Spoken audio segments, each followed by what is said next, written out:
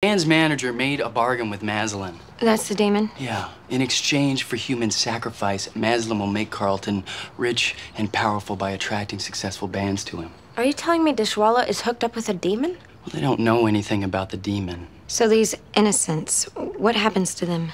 They're devoured by Maslin, consumed for their souls. Ew. The more souls Maslin collects, the more successful Carlton becomes. Now, you can't destroy the demon without first freeing those trapped within him. All this freeing and destroying, is this in between sets or during the encore? Look, I know you're upset. No, no. I, I skated past upset just after you came in the door. Right now, I'm at furious.